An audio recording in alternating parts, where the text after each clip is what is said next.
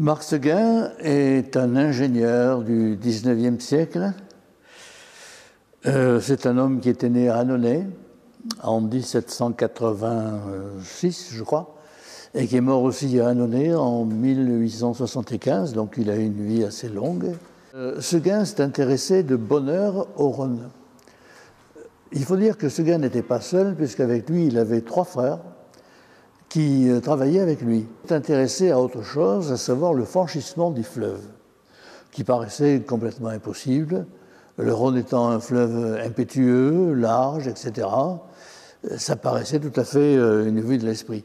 Les projets anglais ou américains étaient des projets où il y avait bien suspension du pont par des fils, mais c'était euh, pas des fils, c'était des barres. Le résultat, c'est que c'était beaucoup moins euh, souple. Et ce gars, c'est son grand mérite, a démontré qu'un pont en fil de fer, comme il disait, était plus résistant, notamment au vent. Vous savez, dans la vallée du Rhône, le vent, euh, c'est pas rien. Mais il a commencé par des essais assez modestes. D'abord chez lui, euh, à Annonay, sur la rivière Caen, c'est une petite rivière euh, qui pouvait être franchie sans trop de problèmes. Et puis après, il a essayé aussi sur la Galore, qui est une rivière de, de la rive gauche du Rhône.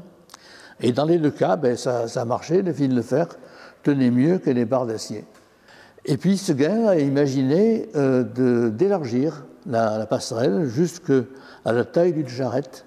Et finalement, donc, il a réussi à lancer, il n'y a pas d'autre mot, son pont sur le fleuve. C'était en août 1825.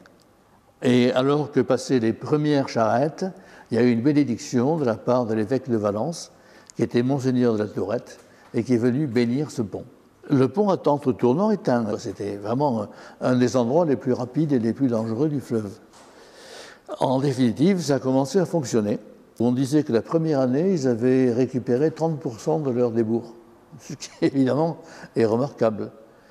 Et naturellement aussi, euh, très vite, ça s'est multiplié.